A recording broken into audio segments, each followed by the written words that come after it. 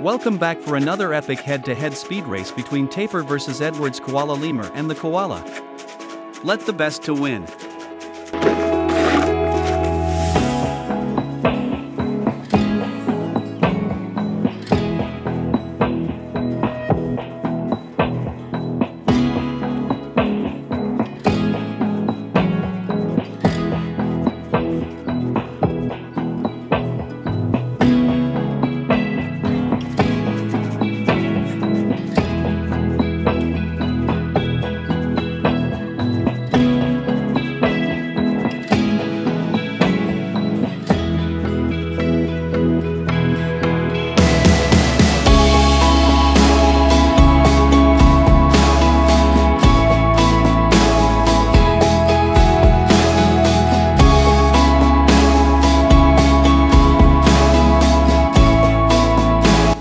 Winner is the tapir.